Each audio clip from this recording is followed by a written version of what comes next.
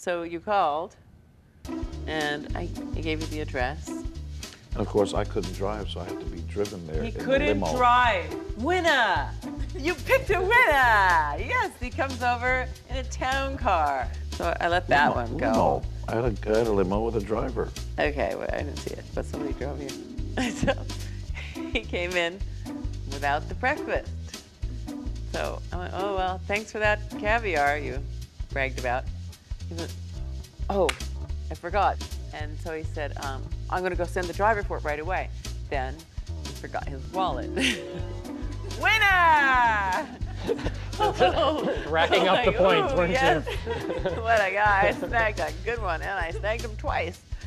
Did you borrow money from the driver? So then finally, I said, you know what? I have to catch a plane in a little while, so I'm going to have to leave. We've, we've taken so long not getting breakfast that I'm going to go to the airport now.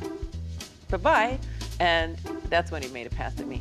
I ran my hand under her sweater and It was it was very getting arrogant. know you. He just copped a feel right, I guess, because he thought, I'm not going to see her ever again. Just like, go for it. and so he just, uh, yeah, copped a feel, and I left. And then uh, we talked on the phone every day for at least a month while I was away doing the movie.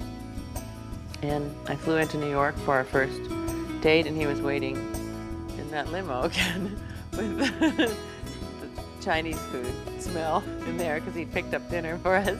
And we went back to his place, and I didn't come home for three months. And that's how that happened.